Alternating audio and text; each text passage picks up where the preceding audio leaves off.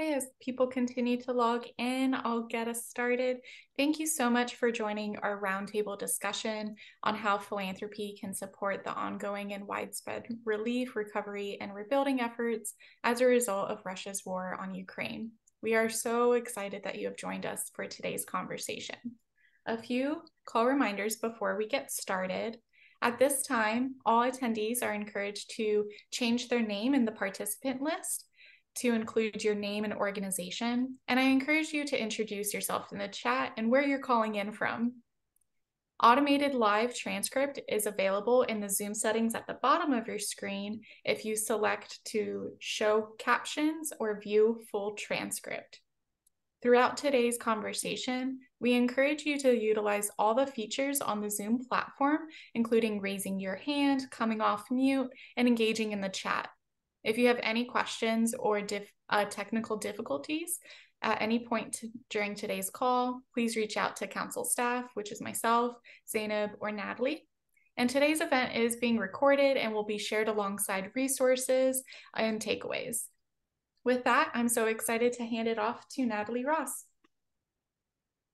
Great. Thanks, everyone. We're glad you're here. My name is Natalie Ross. I'm one of the vice presidents at the Council on Foundations, and we're honored to host today's call in partnership with our peer philanthropic networks in Canada, so Community Foundations of Canada, Philanthropic Foundations of Canada, and always in partnership with one of our members, the Charles Stewart Mott Foundation. As uh, Melissa said, this is part of our Donor Roundtable, a series of conversations about Ukraine. We've been convening foundations on the crisis um, since 2022 and um, this year have continued to focus on different topics and how they connect to the situation on the ground. So this month we're excited to talk about education and learn a bit more about what funders should think about when they think about supporting education in Ukraine given the current context but also how that's relevant um, to education settings elsewhere in the world. Uh, so we're excited to have great speakers with us. Um, and as always, uh, this year we've been in partnership with Adrian, uh, who will be moderating the conversation and introducing it for us. So Adrian, over to you. Thank you for joining us. Uh, thanks, Natalie. Thank you so much. Uh, welcome, everyone. I'm Adrian Karmazyn. I'm glad you could all join us today. We have a fantastic group of experts uh, here to take us through some of the innovative approaches that are being implemented to help Ukrainian youth proceed with their education despite the war. Of course, all wars are ruinous, but uh, this one is particularly horrific because Russia is deliberately targeting the civilian population and infrastructure, including schools. In our last session, we talked about the ecocide being caused by Russia's destruction of Ukraine's environment. Uh, perhaps the term for what we're talking about today is futurecide, that is, Russia's efforts to destroy the future of Ukrainian children. So starting us off will be Anna Novosad, uh, besides talking about the efforts of her organization, SavEd. We've also asked Anna to provide uh, a broader overview of the education system in Ukraine and the reforms that Ukrainians have been implementing even before the war. It's a subject she knows well because she served as Minister of Education of Ukraine in 2019, uh, 2020. Anna, over to you. Uh, thank you so much, Adrian, and I appreciate uh, this invitation uh, of the council and happy to be here. Um, I'm just going to briefly share my screen with you. Um, yeah, uh, first of all, yeah, greetings from from Ukraine, from from Kyiv. Um, a few words on myself. Uh, I used to work uh, for the Ministry of Education and Science for many many years, starting day one after the Revolution of Dignity in 2014, and I resigned in 2020 as the minister. And I was uh, honored uh, to witness and also to contribute to the to the reforms and especially the school education reform that was started uh, in Ukraine uh, before the big war back in 2017. Uh, I know that uh, people uh, usually know quite a little about Ukraine, and this uh, huge invasion of Russia against us kind of opened up a lot of things uh, about us. Uh, however, just to give you kind of a glimpse of Ukrainian school education, it's been, you know, I would say that the the, the biggest point to take away of, of this conversation is that it's been quite good, and this is also something that Ukrainians who were forced to go um, abroad are now witnessing: is that Ukrainian schools haven't been bad and the quality of education was relatively um, comparable to the OECD average. And this is what also PISA um, assessment that we took uh, part in as a country in 2018 uh, showed that Ukrainian school education is averaging uh, those uh, countries that are in OECD average um, ranking. Um, as a government, and I'll say like a couple of governments in a row after the revolution of dignity invested a lot resources and effort into the school reform and in 2017 we started a huge um, uh, transformation, uh, which was called the New Ukrainian uh, School Reform. I know that in the US, uh, transformations and various uh, turnarounds and, and various uh, policies to to transform school education are happening uh, all the time and are very much state based. However, in Ukraine, that was probably the first um, systemic effort to comprehensively change curriculum to train half a million teachers and to invest billions of uh, of hryvnias, which is like millions of dollars, uh, into the um, uh, into the uh, transformation of the educational environment. And what's also important is that thanks to the reform, tens and tens of thousands of kids with special education needs were actually able finally to go to just regular schools instead of um, sitting at home but then uh, Russia decided that um, they have to liberate us, liberate us from our um, normal lives. And um, by today, as, as we are speaking in this uh, more than 19 months of the big war, um, Russia has destroyed every 10th school in Ukraine. Uh, and that's huge, right? Before the war, we had roughly 15,000 general secondary schools uh, and uh, but yeah, by today, more than 1,500 are uh, either uh, destroyed beyond uh, repair, so they are being bombed with avia bombs, missiles, or they are damaged uh, severely and need um, reconstruction. And just you know, one of the things that I would really like you to take away from this presentation is that this doesn't happen accidentally. This is a very, very um, um, how to say, very deliberate, very cynical, and very strategic um, thing to do. And that's a part of a broader strategy to erase Ukrainians as a nation because they very much understand, I mean, Russians, that uh, having access to education means having access to the source of knowledge, means having access to the source of democracy, to the um, sort of like community gathering. And uh, if you look at what they do when they occupy, uh, when they uh,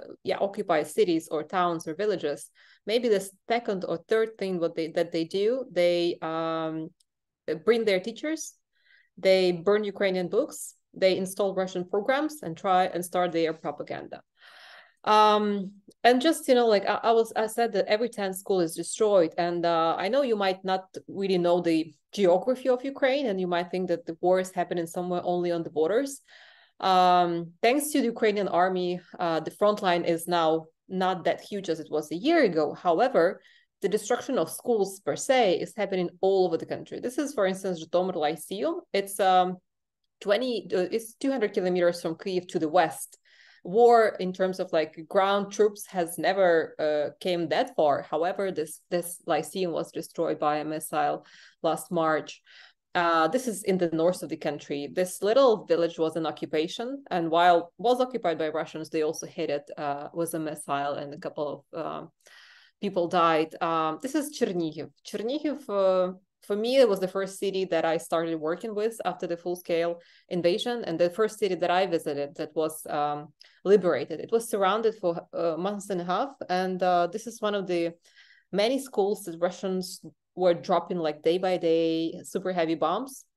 Um, and so this city, it was a city with 250 uh, inhabitants, 250,000 inhabitants before the big war, and uh, Russians damaged here 27 out of uh, 34 schools. So just for you to understand the scale of damage. Um, this is South Mykolaiv. It's a huge city of almost half a million uh, people. And in every district of this huge city, uh, they have a one destroyed school um, like this. So um, myself, before the before the big invasion, I was actually in the U.S. I was doing a fellowship at Vanderbilt University, However, just like just in case, I I returned home uh, three days before the big war, and um, I choose to stay there. And after Ukrainian uh, army liberated the north, uh, and for us, we first of all everyone saw Bucha, but then we also we as uh, educators we saw the, the damage to educational system uh, per se. And this is how me and, and the team uh, decided that, okay, we, we have to do something. Like a lot of Ukrainians, like Oksana, like Katerina, whom you see here, uh, they just thought like, okay, we have to do something. And that something uh, later on kind of manifested itself in SavEd, which is a charitable foundation that I've co-founded with my colleagues. And our mission is to restore access uh, to education in the war damaged uh, communities. We are currently present in these six uh, regions. Uh, it's still not enough. However, uh, it's uh, what we managed to do in basically just one year of our operation. And uh, within this year, we managed to help more than 40,000 school kids um, around the country. This number could be higher. However, um, when you look at the map of occupation, for instance, and then liberation, you could see that um, Russians, the Russians mostly occupy uh, villages, little towns. They didn't manage to capture big cities, thankfully, thanks to Ukrainian army and the U.S. support to that end. Uh, and that means that liberated rural areas have been vulnerable before, but now they are even in even in more um, uh, terrible conditions. Um, this is just to give you a sense. So this is Ministry of Education data, just to give you a sense of what's what's happening in with education right now. So um, just just imagine it's the fourth September. It's a fourth study year when Ukrainian kids uh, do not go normally to schools. First two years of COVID, now two years of big war. So um, that means that we have basically a generation of primary school kids, those who attend first, second, third, fourth grade, who have never been to schools or have rarely or barely uh, been to been to schools and that's of uh, of course uh, predominantly east uh, and uh, and south of the country where the uh, which are closer to the to the front line. So currently, in total, more than two million kids are studying either online or in a blended mode uh, which means that like all of you went through COVID, and those of you who have kids, you understand what kind of learning that is. And add to that constant bombing, air raid sirens, um, stolen by Russians devices, and bombed schools. And this is the picture that we have now um, in Ukraine, and of course that already has a huge toll on the human um, capital of uh, of the country here. So just briefly, what do we do at SavEd in pictures? Uh yeah as you saw the scale of destruction is huge. So one of the our priorities i i call us like um you know um emergency education response. Uh we try to follow the ukrainian army and kind of be there as fast as we can when the situation is is safe. So we do for instance temporary schools this is uh, like 20 kilometers from Kyiv, where I'm now. It's very close to the capital. It was uh, this village was uh, in uh, occupied by Russians. They lived in this school. Uh, the school was for 400 um, kids, and in this kindergarten, they this is like 100 meter from that school. They kept their ammunition, and when they were retrieving, they exploded it. So this village is just one of numerous examples where educational infrastructure is completely gone, but they have kids and when we started to work in this community, we uh, found out that this uh, kind of community house, in American terms, I would say, uh, was intact from the outside. And uh, we agreed with the local authorities that, okay, we will try to do something there. This is how it looked um, before, before we started working in there, just bare walls, basically. And we realized, okay, it's a great place, like 400 square meters for temporary school. So we completely renovated it, divided into four big primary classrooms. Uh, and now all primary school kids, um, almost uh, like 180 uh, school kids attend this uh, this temporary school, and they perhaps will do that for the next five to six years when this village has um, funds to start rebuilding uh, what's been uh, what's been destroyed by Russians. One of our actually main um, streams of work are the digital learning centers. This is uh, what we invented, and this is what I'm really grateful. We operate and cooperate with uh, the next two speakers, Oksana and Katerina, with Teach for Ukraine and also with ENGin. So the DLCs is basically uh, um, emergency instrument to renew access at least to any educational activities. We arranged them like a, it's basically like a huge classroom that we arranged in the bomb shelter or in whatever is intact in the village and we completely arrange it with was furniture devices computers projectors but what's most important was tutors and structured curriculum for instance ENGin is helping us to um, to do the english classes in these spaces and uh, Teach for Ukraine, for instance, last uh, academic year, they helped us to prepare kids for the uh, university entrance exams in these places. And we pay tutors to, to work here. We currently run a network of almost uh, 50 centers like that around five regions that we work with the bomb shelters is something new to our life unfortunately and unfortunately it will stay for us for a very long time. So uh, at SavEd we look at these horrible underground uh, claustrophobic places as something inevitable and something that we have to use for the educational purposes. So we completely turn them into learning spaces. And this is just one of the examples. Horodnya, it's not Kyiv, so it's Chernihiv Oblast. Uh, it's on right on the border. They are unlucky to be on the border with both Belarus and Russia.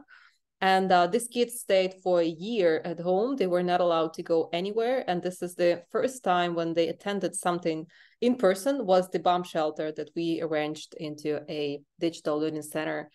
Yeah, and this is just one of the numerous examples of, of what we uh, do. And basically by doing that but also by restoring uh, rehabilitating schools uh, turning these shelter bomb shelters into schools uh, constructing modular schools. We helped this uh, around 40,000 kids to get back access to at least some uh, educational activities. I cannot call it proper learning but it's much better than nothing.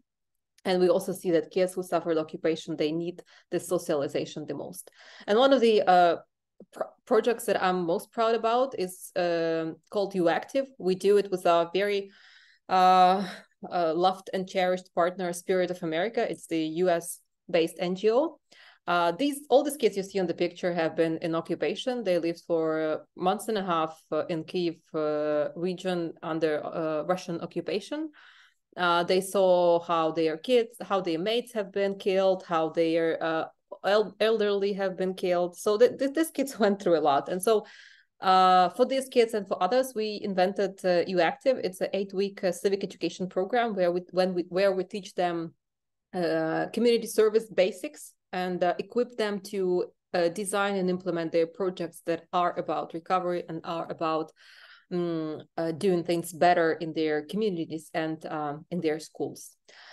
Within this year, we managed to help 54 schools, which is, you know, it's a drop in the ocean in comparison to the damage. However, these this this few um, directions remain our priorities: restoring premises, equipping schools, uh, arranging bomb shelters. But what's most valuable that we do, and thanks to partners also like Teach for Ukraine ENGin, we provide them with structured learning, and we also engage tutors who work with them either offline uh, or online. So basically, it's combined combining infrastructural uh, recovery with um, soft measures. And just to give you a sense of whom we work with, um, we just uh, chosen those who are who might be known to you. So it's uh, American Council, Spirit of America, IREX.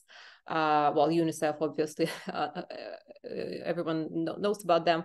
However, we, we kind of try to focus on also on the on the US partners, especially in this UActive program, because we believe that uh, Americans and Canadians to that uh, to that uh, end as well understand the value of community service and understand the value of uh, engaging kids um, to that. Uh, we are always happy to partner. We're always happy to find common ground how to how to engage and uh, just to give a kind of uh, a, hand or a ball to the next speakers. I, I appreciate that uh, all three of us, and there are many, many others organizations here, we all work together and we try to combine the efforts how to um, remedy this uh, situation here. Thank you. Thank you so much, Anna. Excellent presentation. Uh, next, we have uh, Oksana Matiiash, who heads Teach for Ukraine, uh, a program that focuses on rural and frontline schools in Ukraine. I also want to start off by congratulating Oksana. She's coming to us from New York. Uh, she's at Columbia University uh, this academic year as an Obama Foundation uh, scholar. Oksana, over to you. Thank you, Adrian. I do appreciate it. It's such an honor to speak uh, in front of such a distinguished audience, but also after Anna, I was uh, telling in the beginning that it's always hard to uh, meet the expectations um, after her Um, so as uh, Adrian already mentioned, I am here temporarily in New York as the Obama Foundation Scholar, but I am first and foremost the CEO of Teach for Ukraine. Um, I also serve on the on the board of uh, President Zelensky's Foundation on Support to Science, Education, and Sports. Um, just a few facts about me. But the most important thing is, of course, uh, that I'm here today to talk about um, an amazing work of um, our uh, organization. So Teach for Ukraine is a local NGO that was founded in 1217. Uh, um, we launched the organization in 2020 after COVID when I joined um, in October as the CEO. Uh, we're also part of the Teach for All Global Network, which is present in 60 countries. And I know um, probably most of you have heard about Teach for America. So um, we do operate not similar, but we're part of the same um, organizations working to ensure uh, that every child has um, equitable education opportunities. We're headquartered in uh, Kyiv, Ukraine, and currently we have 35 permanent team members. This is just to um, give you the overview of um, the organization itself. Um, as every decent NGO, we of course have the mission, and our mission is to ensure that every child in Ukraine can fulfill their potential through access to high quality education, despite their place of birth or residence. And of course, it's especially during the war. So here on the on the left, you can see a photo from um, one of our activities that we did in European that I'll speak later about um, so the core program, the core model of uh, Teach for Ukraine, as I said, um, has a lot to draw from Teach for America's model, uh, but the context is very different. So we also recruit and train uh, dedicated graduates of the best Ukraine universities, uh, as well as uh, professionals who are ready to commit to teaching in rural schools for at least two years. But not only do they teach there, they also act as role models and uh, mentors for kids, organizing free extracurricular activities and community-based based projects. And I will explain uh, why our focus is on, um, has been on rural areas primarily. By the way, this is the, the photo of our cohort from 2021, 2023. Um, and two people in these photos have voluntarily joined the armed forces um, teachers of history of Ukraine, um, they couldn't stand, uh, they couldn't, you know, just uh, stay in a classroom. They said, "We need, I need to be shaping the history of Ukraine myself and be um, uh, an example for my students." So we're super proud of them. Um, so Teach for Ukraine before 24th of February 2022 has been a different organization, um, and you will hear later why. Um, but we were always focusing on addressing the problem of education um, inequity in Ukraine. Uh, before the war, as Anna mentioned, there was an international study conducted called PISA uh, that showed that kids from rural areas are almost two and a half years behind in their knowledge and skills from their peers from uh, urban areas. So the city or the place where you're born is really very um, is going to define, in most of the cases, a child's future. Um, so as I said, we were focusing on placing our fellows and teachers in rural areas. And here on the right, you see the map of Ukraine. Uh, we have been uh, working primarily in the five regions of Ukraine. It's Kiev uh, here in the north, uh, Dnipro in the east, Odessa in the south, and Lviv and Frankivsk here in the western part of Ukraine. Um, before the war, the large-scale invasion started, we had 40 fellows in our um, 18 school partners. But when um, when the war started, uh, all of our fellows were located here in their communities, and they refused to uh, get evacuated because they all wanted to stay and support their children. Um, one of our fellows was um, Yulia um, Stanovska. You see her on the right photo, and um, a week after the war um, started, the invasion started. Uh, she got killed by the Russian missile when she was providing humanitarian aid to uh, residents in her native hometown, Kharkiv. It's on the border with Russia. And Yulia also refused to get evacuated because she was always the person who stayed uh, in the most challenging circumstances to help people. And um, this was the most um, challenging, but also transformative moments in the life of Teach for Ukraine's community because after her death, we came together and we realized that Yulia would want us to continue doing what we are doing. And we had her mother coming, joining the graduation ceremony of her cohort, um, telling us that Yulia has been happiest with our community and the best way we can honor her memory would be to continue doing what we were doing. and uh, Yulia will be uh, forever 21. This is just to give you one example of how devastating is uh, the war on uh, not only Ukraine's education, but on its future as well, first and foremost. So as a response to the large-scale invasion, Teach for Ukraine started, launched emergency response, and we had uh, two uh, big priorities. First, it was about providing uh, urgent mental health and psychosocial support both to teachers and uh, students um, because like you can't work on providing education or excellence uh, or provide academic excellence if you have the majority of your beneficiaries who are under huge stress and don't feel um, in a safe space. Um, and of course, it was about renewing the um, immediate academic um, access to education to those children who couldn't access any online education because when the large scale invasion started, many many schools couldn't provide any kind of learning because um, teachers were on the move um, they didn't have the capacity. So this is where teach for ukraine started our project that i will tell briefly about later. So here in the bottom you can see our partners who helped us uh, during the emergency response launch. Um, unicef they just save the children world bank bosch foundation skoll foundation teach for all of course. And uh, we were able to impact a significant number of both teachers and children.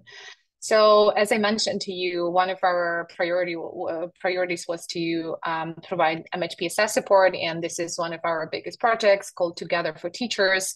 Um, and on the right, you see the photo of uh, one of our trainings that we did in one of our uh, partner schools.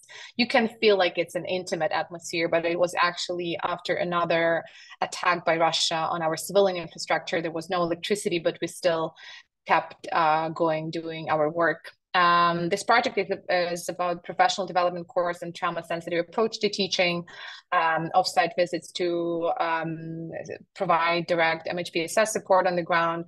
We developed also chatbots, digital tools uh, to provide immediate text-based support to a teacher if they um, come across a challenging situation during a lesson so that they know which strategies they can apply. And of course, it was create about creating this peer-to-peer groups so that um, teachers can have um, self-support among their own community. Uh, and we were able to reach almost more, now it's more than 90,000 educators in Ukraine with this response.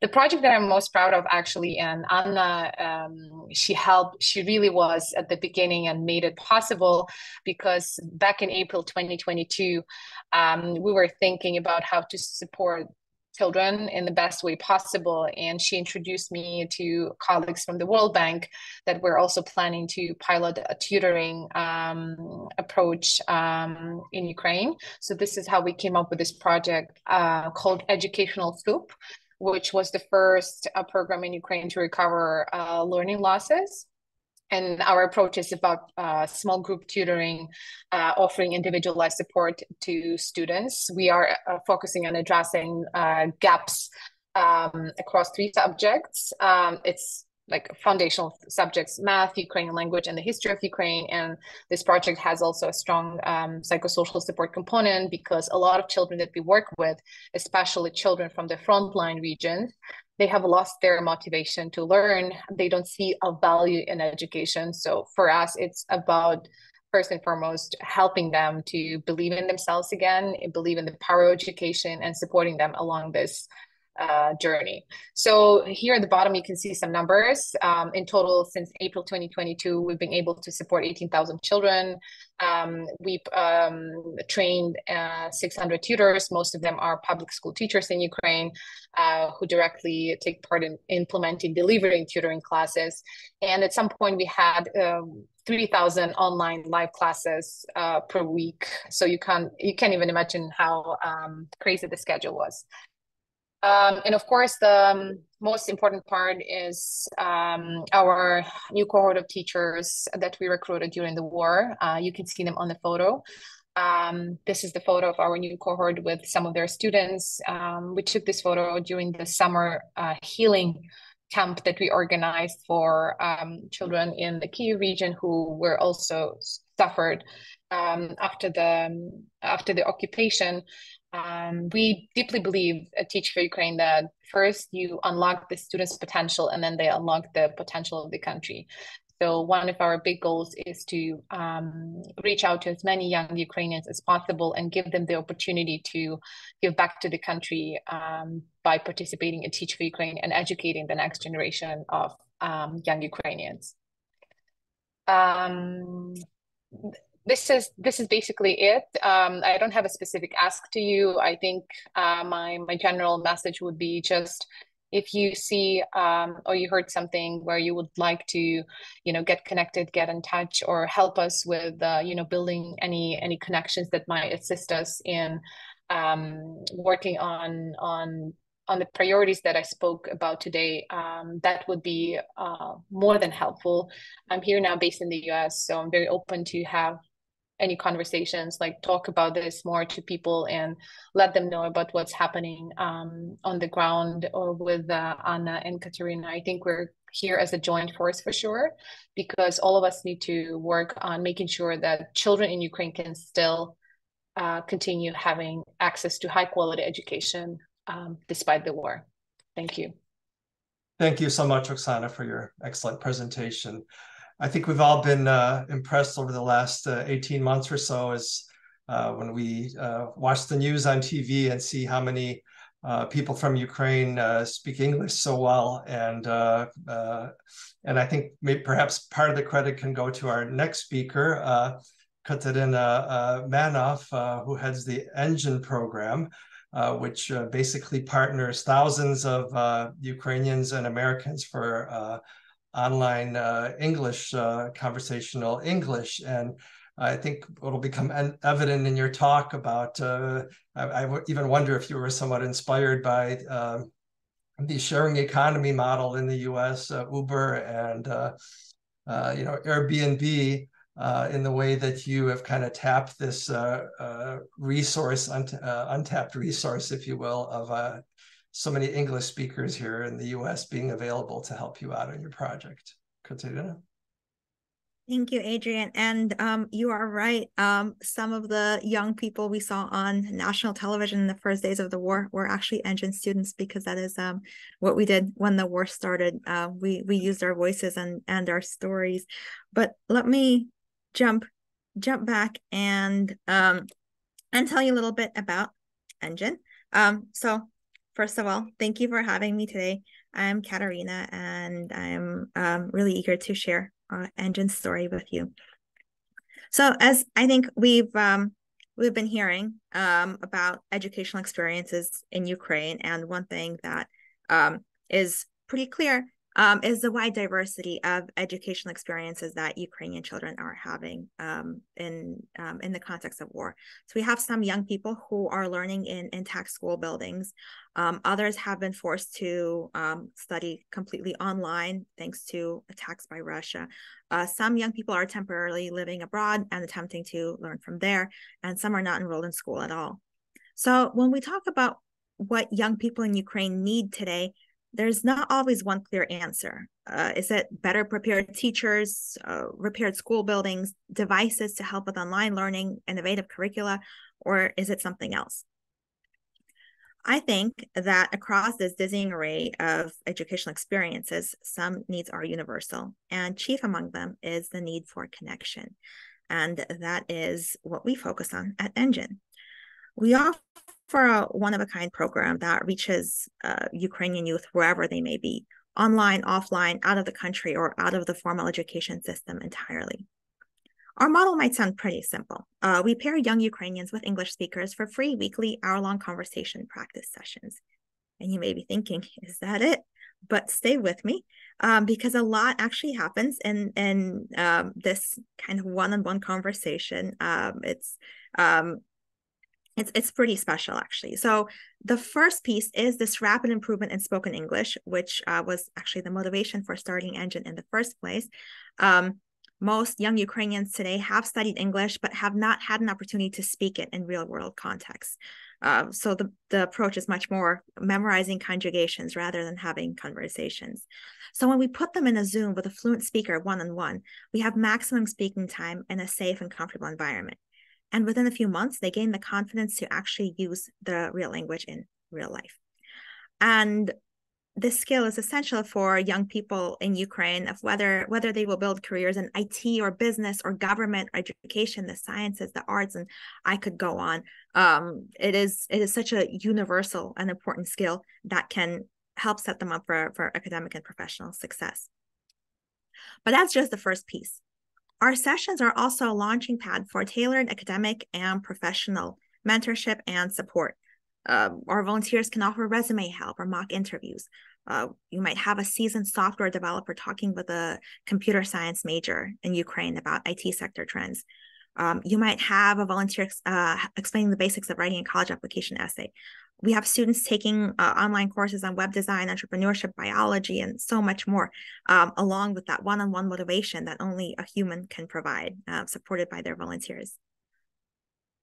An equally important piece is cultural exchange. And um, this is really a unique chance for students in Ukraine to discover a new country and um, have an opportunity to share their own stories.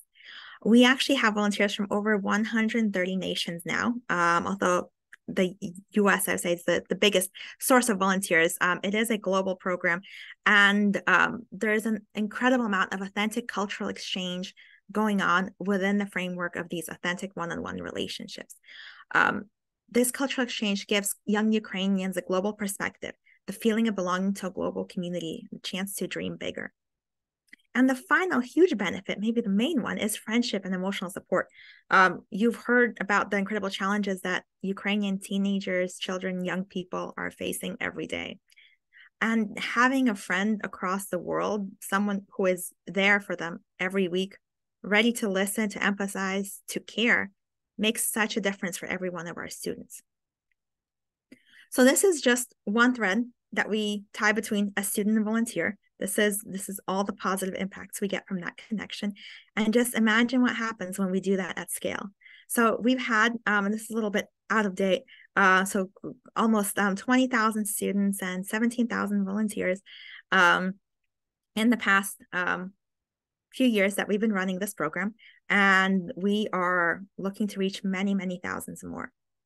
As we grow, we are not simply helping individual people, um, but we're also helping a nation. So this is our our dream that we can get to a large enough scale that we can have transformative nationwide change. We're hoping to build a globally connected, free Ukraine where English fluency is the norm, where an entire generation of youth is ready to collaborate, innovate, and rebuild. So, what is ENGin? ENGin is hope hope for Ukrainians and hope for Ukraine. And ENGin is pretty unique in in in um, comparison to many nonprofit programs out there um, for for a few reasons. So first, um, our model is flexible to meet every student where they are and fulfill their individual needs. Uh, we really believe in this one-on-one approach. Um, it's it's shown really, really strong results um, in our experience. Um, we can and do work within the broader educational system. Uh, we've partnered with over 100 schools, universities, and nonprofits across Ukraine, including the amazing SavEd, um, which you heard about, and hopefully soon Teach for Ukraine as well. Um, but we can also move outside the system. We can move quickly. We can disrupt conventions that don't work, and we can work around bureaucracies. And our model is sustainable because our volunteers get as much out of the interactions with their Ukrainian students um, as the students do.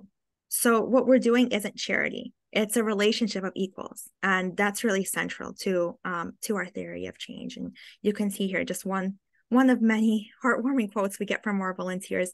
Um, people who say their students have become um, best friends or almost like family members. Um, and we have had volunteers who have actually traveled to Ukraine despite the war just to meet their students in person. Um, so the relationships we build are incredibly powerful and um, impactful on both sides. And all of this is insanely cost effective and scalable. So um, our budget is just $600,000 annually, and um, we're currently serving around 27 current participants um, with just about 20 staff members. Um, and our volunteers contribute over $5 million of value each year. So we're really leveraging that in a very um, effective way at scale. And we um, were able to maintain really high um, satisfaction and impact. Um, there's just a couple of our impact numbers that we, we measure among students and volunteers to see what they think of the program and how they're progressing. Um, yeah, I think that's um, great, great. That's pretty much it. Um, they, I, I would love to also connect with anyone who um, who would love to learn more about our work. I invite you to um, reach out and love to continue the conversation. Thank you. Thank you, thank you, Katerina, and uh, that's it's just uh, amazing progress you've made in a in a few short years. How you've grown to such uh, grown to such amazing numbers. Uh, you know, uh, over around fifteen thousand on on each side, uh, very roughly roughly speaking.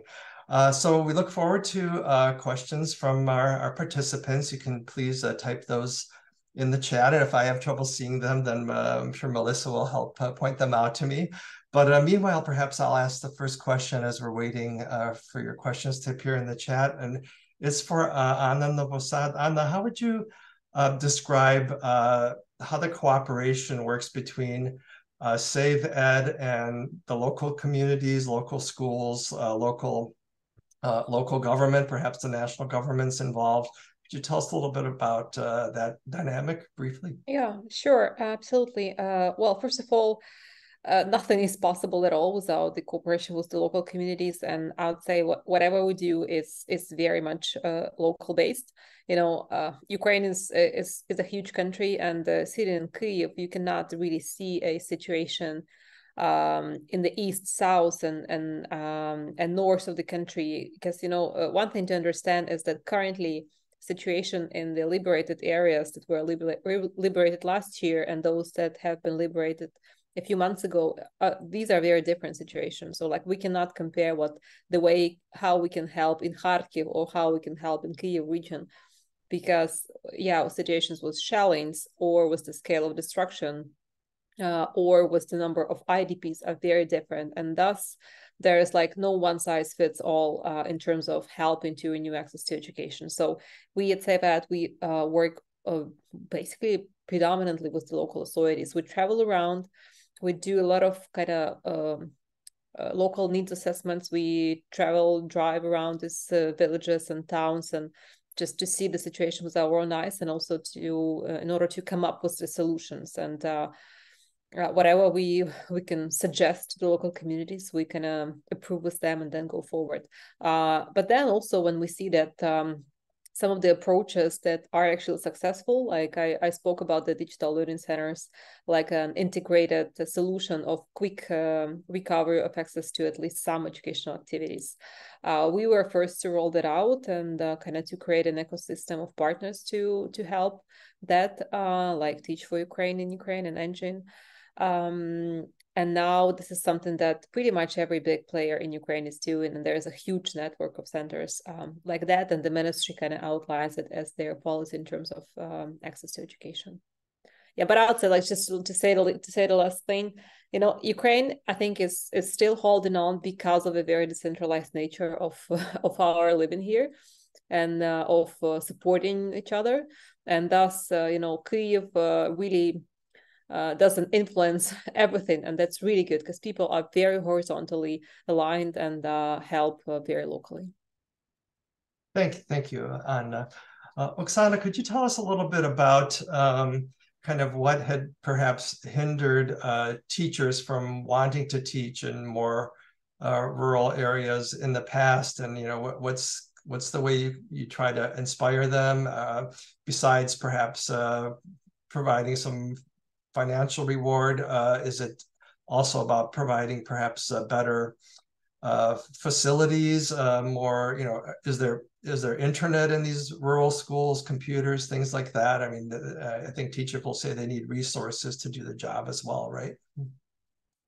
Uh, yeah, Adrian, uh, definitely. Um, so we were primarily focusing in rural areas before um, the war, right? But uh, now every child in Ukraine has been negatively impacted. So we are trying to focus on the most, um, you know, disadvantaged who are not necessarily, you know, located in rural schools anymore. It can also be about, you know, if you're in a close proximity to the front line and you're still in the big city and your education is, um, you know, suffering. And I think, it, especially in those regions, kids have not been able to have any kind of you know proper learning uh, since the large scale war um, started uh, but uh, for us um, we see a huge uh, we see a huge uh, need to have the new talent coming into the education sector.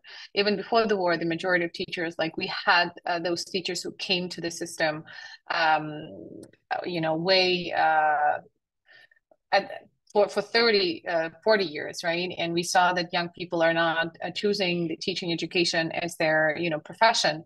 And we also saw how many kids are lacking access to proper education in these areas. We, some of our partner schools have not had teacher in math or biology or English for two or four years right? And if if if there is no teacher you don't have the the education. One teacher could be teaching four subjects in a row because especially stem subject it was extremely hard um, to find um, a teacher like that. On the one hand we had young people uh, many of whom are as we see interested in you know uh, switching to education sector and wanting to support especially the country right now with the not necessarily money to donate or they can't do that or they can't go and join the army but they can uh, be an inspirational uh, model and mentor to children.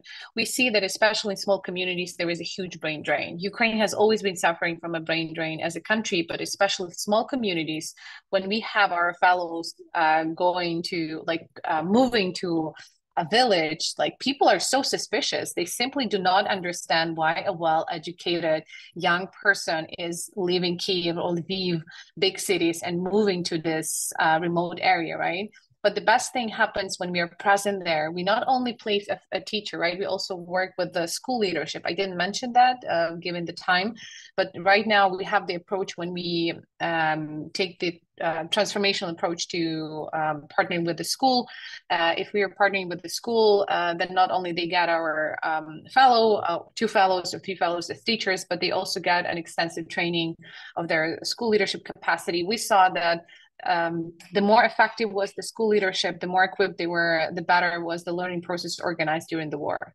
So there's a huge need to work on that capacity as well. So when we come to a school, we make sure that we also uh, add extra added, we also add value in, in strengthening the capacity of teachers. Um, uh, we provide them with uh, smaller grants uh, right now to, for example, refurbish their uh, facilities at the minimum cost. Uh, we don't do big infrastructure support as um, as uh, Anna's uh, charity foundation SavEd does. We do on a much smaller scale, uh, but we just try to be there um, for the school and for the community as a whole. And one big part of our work is implementation of community-based projects that our fellows do usually with their children on the ground. This is what where where you know children get to see um, you know proactiveness initiative uh, in full force, and they get inspired and you know they see that um, opportunities are not defined by the place of your birth they are limitless but you can also and you should also do something in the place where you are which is about you know shaping the future um, no matter what right you can always do that despite the, the circumstances Thank you, Oksana. If you're joining us late, we remind you that um, uh, we welcome your questions. You can type those in the chat. We'll be uh, happy to address your question. Uh, my next question would be for uh, Manoff. Um, can you tell us a little bit about um, kind of the mechanics of how you uh, partner uh, your English speakers and your uh, aspiring Ukrainian English speakers? Um, in other words, I, I, understand you have an office or a, a pretty solid, big reputation. Uh, I'm sorry, representation in Kiev and that there's a, there is a process of selection and pairing that's uh, you know involves making sure that the partnerships uh, will work well. Yeah, absolutely. So we've gotten pretty good at the the mechanics since we've paired so many thousands of people by now. Um, our team is primarily in Ukraine. We're all virtual. Actually, we don't have an office, um, but uh, we do have we do have a staff in Ukraine, and which is also great because we're able to to create jobs in Ukraine during this difficult time. Um, but what we do is we um, interview every applicant, every potential student or volunteer uh, via Zoom. Um, we're looking for um, you know their english level and really just trying to get to know them as a as a person and um, based on that we have um, a matcher who um, does every single match by hand. It's a little, little bit computer assisted, um, but really, um, we found that when we, you know, we really need the human touch to make the matches work. So, um, in addition to basics like people's schedules to make sure they'll they'll find a convenient time to meet, um, and their gender preferences. So if a female student prefers to work with a female volunteer, we'll help with that. Um, really, we try to um, think about interests and personality. So for example, um, if someone's quieter, we're going to try not to match two quieter people together. Um, if um, if there's particular interests, um, either professional interests or hobbies. So we have many people um, you know, who are interested in the IT field. And so we try to match them with our volunteers who have experience in IT. Um, we have we might have people who are really into sports or music. Um, with our younger kids we have volunteers who are really into video games and students who are into video games. So in addition to their regular sessions they'll go online and play video games together and chat in english. So i think part of that um, you know the the um, the impact, um, the the friendships that develop, the connections that develop, um, is really because we're we're able to to make those matches and find the right person. And sometimes we don't get it right, and you know we we provide support throughout the whole program experience to both sides. So if the match isn't working out, um, we will try to help them um, uh, get to a better place, or we will rematch them. Um, so yes, I think that's kind of sort of the the bread and butter what we do um, of building these connections and and um, like I said, we get really good feedback, and that's actually probably one of the most common things we hear is like, "Oh, how how did you find just the perfect student for me? How did you find just the perfect volunteer for me? Like you, you know, just based on this brief interview, how were you able to make such a good match? But somehow, somehow it works." Oh, great! That that's fantastic. Uh, I guess my next question would be to uh, Anna Novosad. Uh, it's my understanding that the Ukrainian uh, school system has kind of been going through a transition uh, from an 11 grade system to a 12 grade system, perhaps to align it more with um, European schools. And might you address a little bit about, um, you know, what that, if that change is still continuing and uh, maybe a little bit about, um, you know, Ukraine's integration with the EU and, and, you know, what's, what you're the things you still have to keep in mind during this wartime as you're trying to reform the education yeah you know thank you adrian i think uh, one of the many things that we have to kind of keep in mind and also preserve in our lives uh, um, we call it uh, war life balance uh, is uh, is um, intent to keep keep up the reforms, you know, keep up the change uh, despite the situation. And the school reform is, is one of that. I'm very happy that recently the ministerial team has been changed and now we have new people who who are ready and willing to pick up and move on with what's been uh, what's been started a few years ago. So uh, yeah, the the new Ukrainian school reform presupposed a huge change, including to the structure of the schooling uh, system, and uh, we are uh, we, we've been one of the few countries uh, who still preserve this uh, 11 year old 11 years um, duration of schooling. And uh, in 2027 we are supposed to transfer to 12 um, 12 years schooling.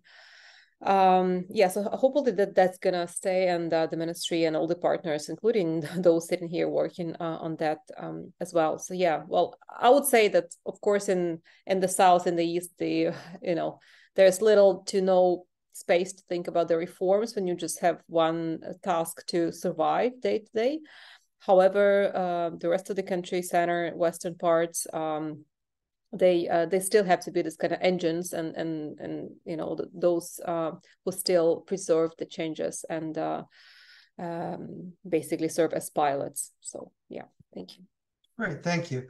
Uh, I guess this would be really to anyone who wants to answer all of you, if you keep your answers brief, but I'm curious if you might kind of uh, reemphasize or, uh, you know, help our funders um, in, in terms of thinking about, you know, you know, when I perhaps think of education, I think of it as just kind of a, a government thing, but it seems to me that all of you are very much involved in uh, you know, civil society actually being able to engage in helping uh, improve uh, education and, and deal with the situation and the challenges of the work. Might anybody would like to speak to that as we wrap up?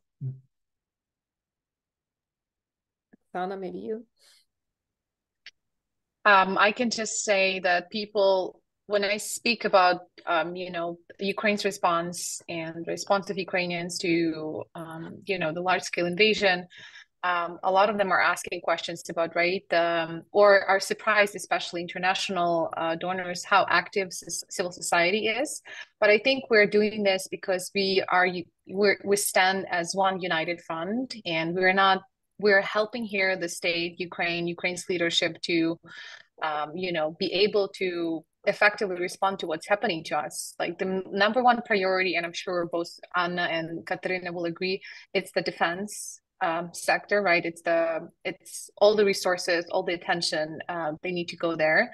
But the number, but the number two, the most significant, the most strategic, and the most important uh, sector is education. It's about the future. When we recently conducted a study um, uh, in in four frontline regions um, in Ukraine, it's not public yet but we saw that like 80, 85% of, of um, mothers who are still based there, they are thinking about moving first and foremost because of education. Education is the number one reason why a lot of women decide to leave the country because they want their kid to be able to go to school safely. And I think, but the majority of them are still in the country. And, you know, what we are doing with uh, Anna and with Katerina, we're just trying to create this opportunities and at least like safe safe space, safe learning space for children to be able to continue education in the country. And we're standing as one united front, right? It's it's not about being better or being more effective than the government. It's being together with the government to help the state, um, you know, still stand um, in different um, sectors. Well, the most uh, significant and the most important one is definitely the defense. Uh, 30 seconds if anybody else wants to yeah, I, I just want to jump in just with a reminder that the Ukrainian government is, you know, 30 some years old. It's the same age as me and Anna and Oksana, right? So um, I think we we Ukrainians are aware of that. And that's why, as Oksana said, we work together and we provide that support for maximum impact hand in hand in education and, and other sectors. Anna, anything else? 30 seconds?